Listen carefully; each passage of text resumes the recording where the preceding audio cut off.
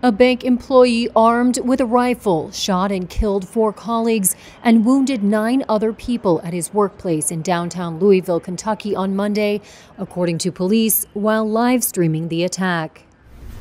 The suspect shot at officers.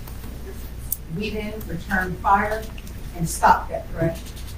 The suspect is deceased. Louisville Metro Police Department Chief Jacqueline Gwinn Villaroel identified the shooter as 23 year old Connor Sturgeon, who joined the downtown branch of the Old National Bank as a full time employee last year. In the latest in a long series of mass shootings in the United States, police said they responded within minutes to reports of an attacker at about 8:30 a.m.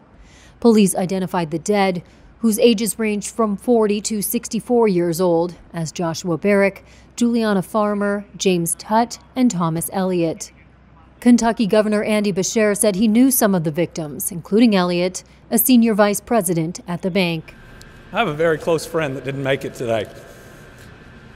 And I have another close friend who didn't either, and one who's at the hospital that I hope is, is going to make it through. Police said one of the responding officers was struck in the head and on March 31st. I just swore him in. Mass shootings have become commonplace in the U.S. So far this year, the country has experienced 146 mass shootings, using the definition of four or more shot or killed, not including the shooter, according to the nonprofit Gun Violence Archive.